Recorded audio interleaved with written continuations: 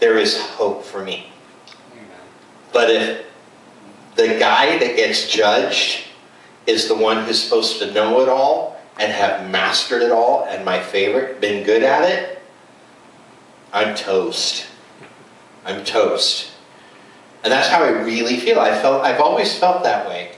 I've always felt that way. I've always said, I, I, I think everyone else is delusional about heaven.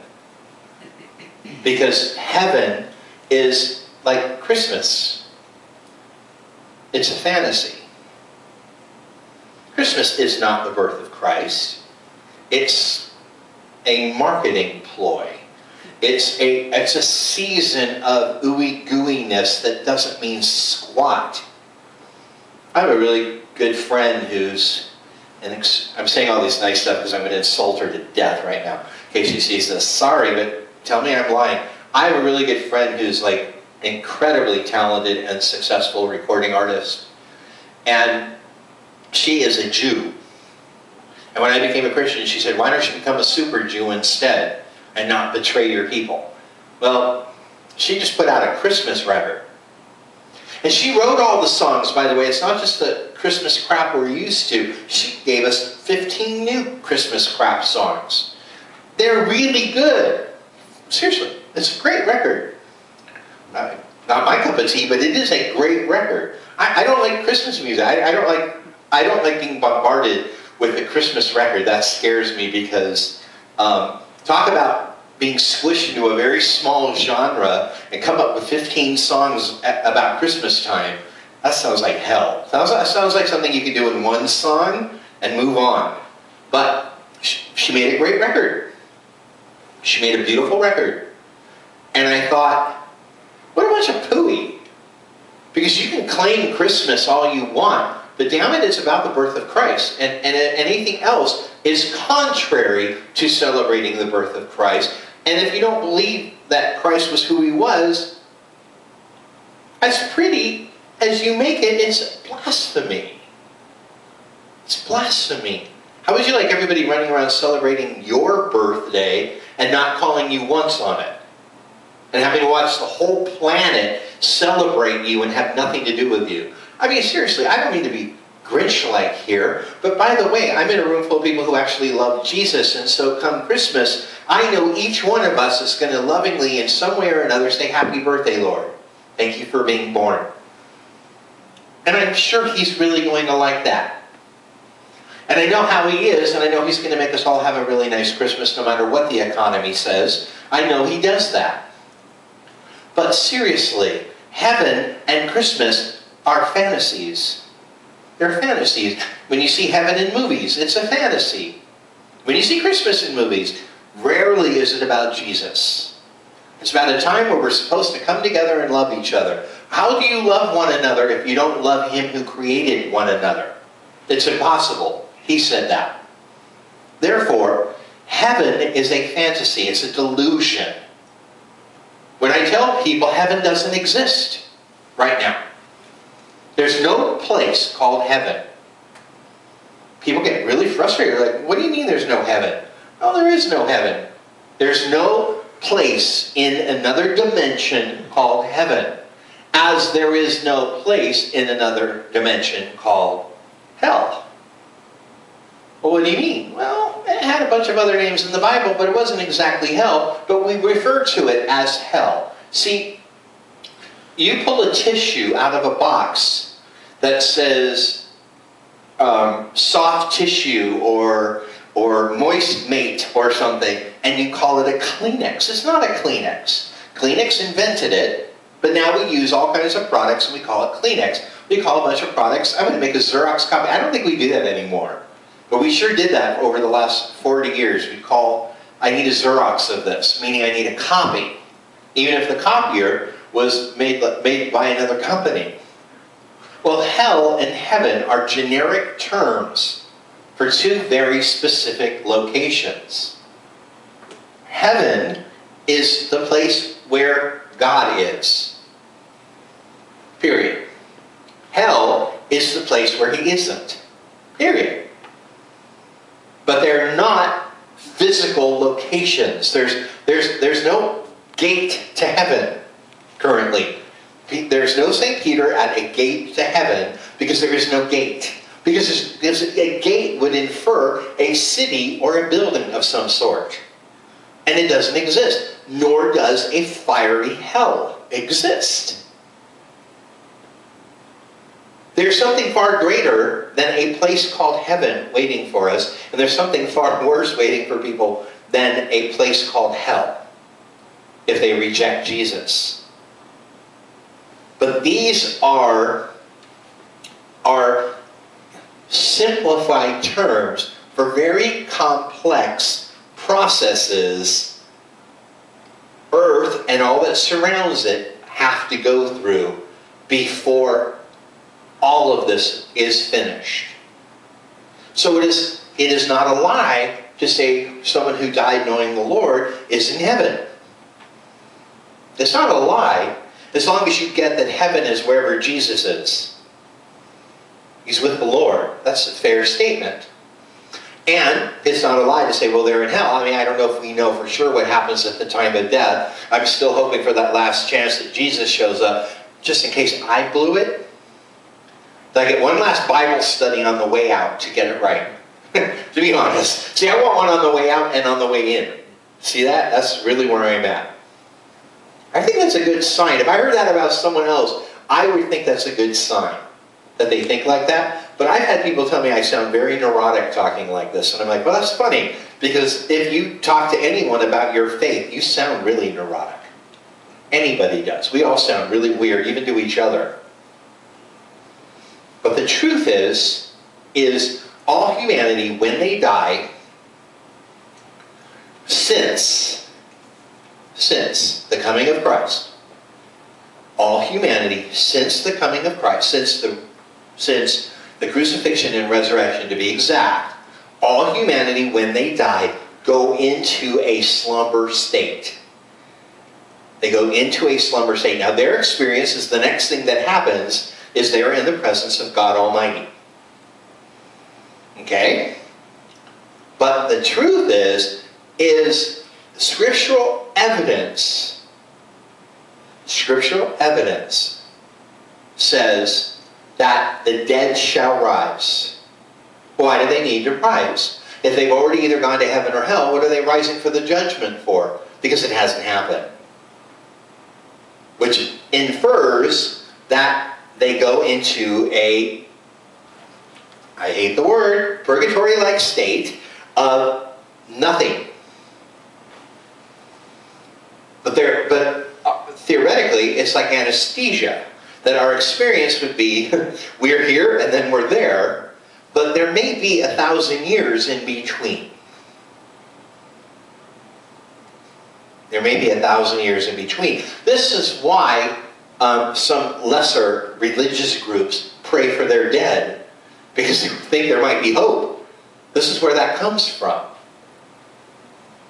Well, that's very complicated, isn't it? Because we always say, if you die right now, do you know where you're going to go? Well, people say, I'm going to go into a deep sleep. Yeah, but when you wake up, where do you think you're going to end up? That's the truth. That's most logical, scholarly perception of what the Bible says is in, in, its, in its entirety about what happens when you die. Now, that having been said, Paul said, you know, to live is Christ, to die is Christ. I mean, either way, I'm going to be with them. Yeah, but it's complicated. We've simplified it because humans are dumb. And, I mean, Jesus called us sheep. He, he couldn't have been more insulting just on smell alone. But um, we've simplified it because, you know, who really needs to know all this? It's like I really don't need to know exactly how my intestinal tract works. You know what I'm saying? Just tell me I have a tummy and it gets full and, you know, I'm good. You know, and it's the same concept. It's been simplified. And it is simple. If you live knowing Jesus, you will die knowing Jesus, and you will spend eternity with Jesus. And there will be some stops along the way to get some business done. And it's a little complicated. And if you don't live for Jesus, you will die without Jesus. and you will end up in an eternity without him, but there's going to be a few stops along the way. And you'll have your chance to have, tell him to his face, I never knew you. You won't be doing much talking. He'll be doing the talking. It won't be pretty. But Jesus, the Bible says that that that that that, Jesus is going to be wiping the tears from our eyes. Why are we crying in heaven? I don't think that's good news. See, I don't want to find out I'm going to be crying down. You're going to be crying one day, but it's okay. Jesus will be wiping your tears. Wait one cotton picking minute. Because if I'm crying for joy, I don't think he's wiping my tears. I think there's some bad news. And I think it has to do with regret. I heard Jack Hayford teach on this once, and he said that uh, when our lives are tried by fire, no matter how great we've been in this life for the Lord, we're going to find out we still miss some opportunities, and that's going to make us cry. But Jesus is going to hold us and wipe our tears and forgive us. It sounds like a long day. That scared me. That really went in, and it made me really think. So, as cavalier as I am in people's eyes, there's one thing I don't feel very cavalier about, and that is entering heaven.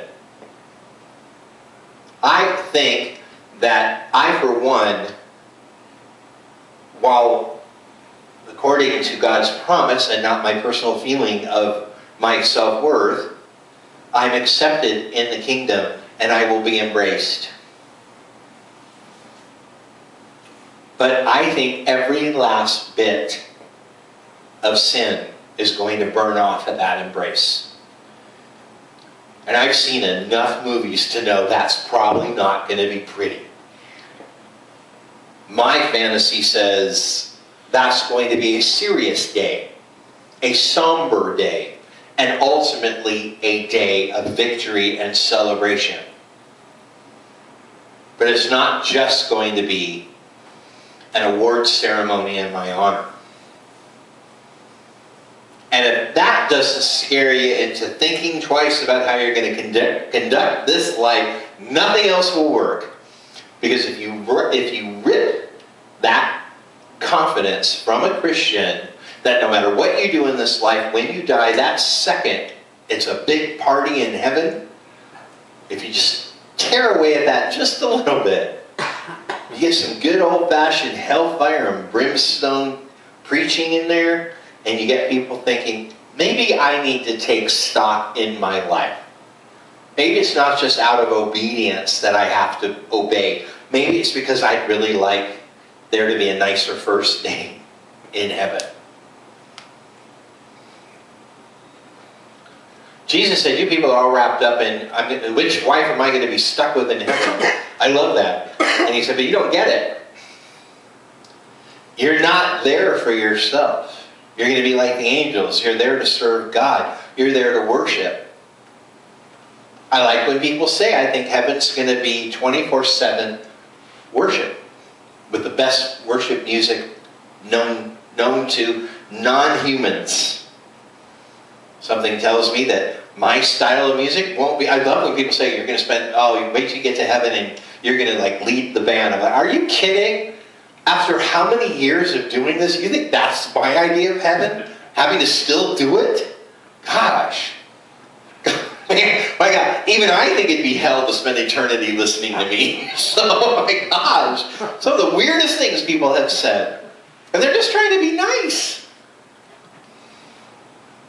I would be more comfortable listening to Ed all eternity than having to listen to my records for five minutes. That's the truth. That's the honest. I mean, my God, I can't. I don't know any musician that doesn't agree with me. Like the thought of having to listen to yourself for all eternity for five minutes when you're in the recording studio, it's hell hearing yourself. You just grin and bear it because you like what's on the other side of that trial by fire. But boy, does it show you every mistake you made. Shows you every way you came up short shows you every imperfection in every aspect of you, and only you and God can see it when you hear yourself in a recording studio. Whoever's working with you is going, ah, sounds great, because they want to go home. They could care less. But you hear it, with the worst possible ears. Total unforgiveness. Total clarity.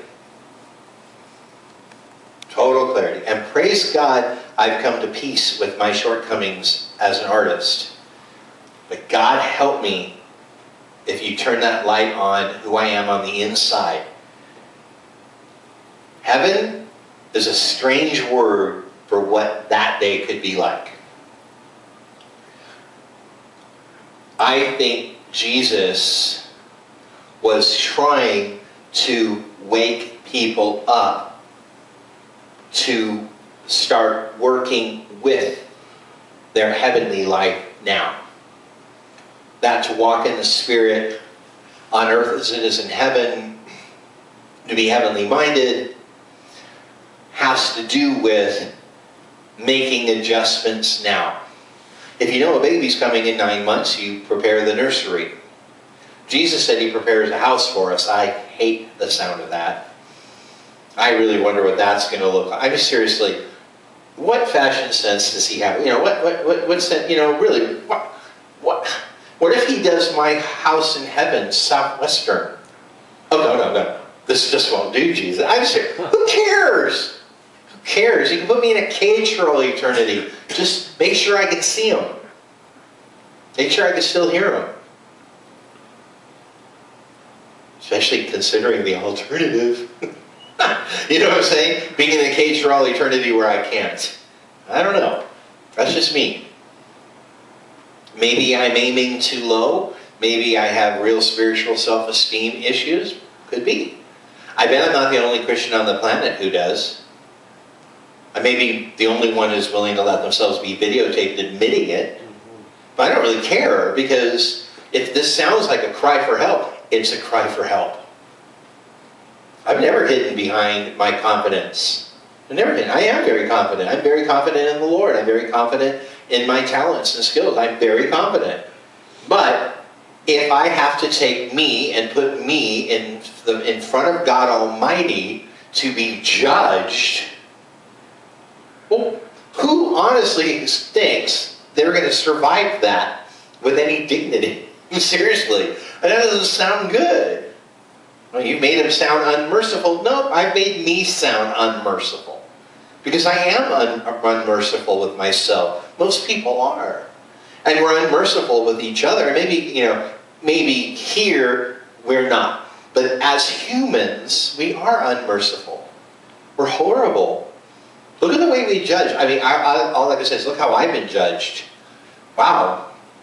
If the judgment of God is, is worse than that, well, that's condemnation. Oh. Oh, condemnation and judgment aren't the same thing. Wow. Can you please teach that to the Christians? Because I can't tell the difference between judgment and con condemnation. I can't tell the difference between using your judgment and judging in Christianity. And wow, that's, that's kind of like a revelation to think, maybe I, got them confused. Maybe I'm expecting the judgment of God to be condemning. I don't know. Some wise person said, the truth hurts. I'm, gonna, I'm just going to say, just in case, finding out the truth of how I really am in the eyes of God might hurt just a little, might sting just a little. Can I be honest? I just want to make it in.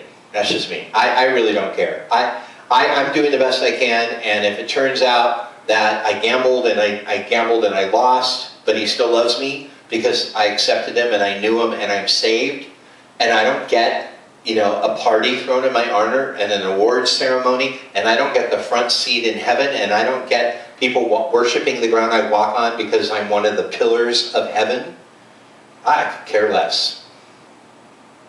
I just want to spend eternity in the presence of Jesus Christ. Period.